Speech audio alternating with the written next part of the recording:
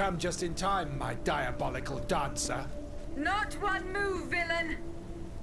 Oh, so now you presume to command your master? Only my conscience commands me. Wretch! Oh, voyez-vous cela? It was certainly a mistake to bind you to the anima of an uncontrollable degenerate. A blunder that I intend to rectify imminently. Ella! Not another move, I said! Awaken to your new glorious being, Brusseau, and heed only the sound of my voice.